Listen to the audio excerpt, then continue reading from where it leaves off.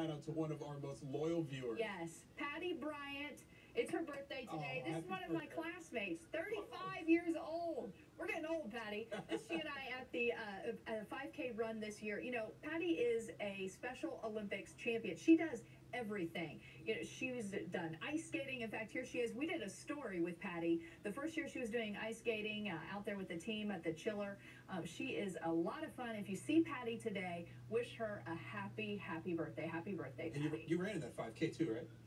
Uh, you know, I am seated. Straight ahead.